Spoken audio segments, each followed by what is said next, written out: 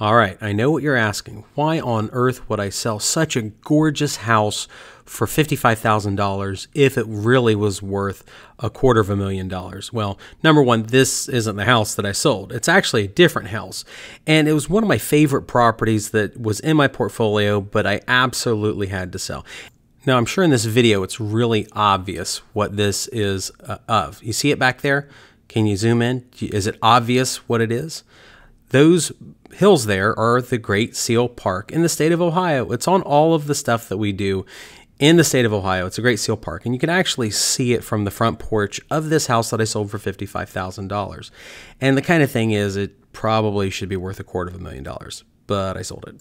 I think there's a pretty good lesson to learn here why I would do something so crazy as to sell such an expensive property for such little money. Be sure to like and subscribe while you're at it. I would really appreciate it. And there's a sign up for M1 Finance where I made a little over $31,000 last year in the stock market. And there's also a mini explainer video of how I use them to fund my real estate purchases. So my involvement with this house started in the first part of 2016 where I bought it for a princely sum of $27,000. My friend Sean owned it. He had purchased it for $15,000, used it as a rental, and he really couldn't make a ton of money off of it. He constantly had bad tenants on this place. And since I figured I could do a better job than Sean, I decided to purchase it and put about $10,000 in it. So after it's all said and done, I had $37,500 in this cool, decently sized four bedroom, two bathroom home with a full basement on a hill in a really great location. After we got it done, I rented it out for $750. This was about July 2016. And guess what, guys? It stayed rented. I actually did really, really well with this property. Over the course of my five years of ownership, we had a grand total of three separate tenants that lived in this property. And although there was maybe a month and a half to two months worth of downtime, it stayed very much constantly rented. Oddly enough, this is the second property I bought off my buddy Sean. He could not keep them rented, and I did a really, really good job of keeping it rented at over at well over $700 per month, which represents over a 22% gross return rate. That is the rent I charged divided by the price that I purchased it for. And since it was fun, I figured I would actually load up my Appfolio income statement on this and see that we made a little north of $36,000 since I threw it into Appfolio and it started actually tracking the numbers, which that would have been September the 1st, 2017. Which if my math is correct here, that comes out to $763 per month in gross revenue that this four bedroom house accumulated even though I only paid 37,000 for it after renovation. Now, I know a lot of people are going to say, well, what about the repairs? But they weren't too bad. A little north of $5,000 over the course of about four years. That was my biggest cost other than property taxes, which were a little over $4,000. Not too bad, but not too great either. Now, those numbers get even better when you consider that we only had it occupied for those three years because it's been listed for about the last six or maybe seven months after my last tenant moved out so they could go work for a Catholic TV station in the state up north that I never like to talk about, and not that station. Now, I'm not going to call myself stupid, but I certainly look less smart when you realize that the neighborhood properties are selling easily for a quarter million dollars if they're recently renovated and similar in size. And some of the properties are selling for well north of $300,000. I couldn't find the, the recent sold, but there was one that sold, I think, probably within two or 300 yards of this place for about 400,000, maybe $350,000. So this deal, as far as most people are concerned, keeps looking weirder and weirder because I sold, yes, it's not a great house, but it's in a great location and it's gigantic and has a totally unbeatable view. But so far in the video, have you noticed that there was something wrong I imagine the established real estate investors might have noticed what was wrong on one of the, the cost statements I posted just a few seconds ago. Did you notice it right here? It's my three year cost log for this property. General repairs were less than $1,400, yet the plumbing was right around $4,000, almost four times higher. And unfortunately, it's the intriguing tale of why you should be very cautious with buying a house on the side of a giant hill. Unfortunately, it's falling off the side of the hill which kind of kind of sucks.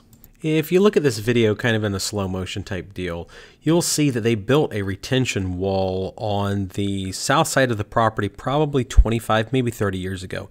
It was pretty cool, but there's only one downside, they did it wrong. Granted, I am not a rocket surgeon nor a civil engineer, but if you look at this video, they did a nice retention wall, but the problem is if the wall gets full of mud and water, that's a bad thing. See, what happens is water that comes down from the top of the hill to my property, which sits in the middle of the hill, all that hydraulic pressure will actually build up and either push the property off the side of the hill, which is what it's currently doing, or you can channel it around the house and go somewhere else, which is unfortunately what needs to be done.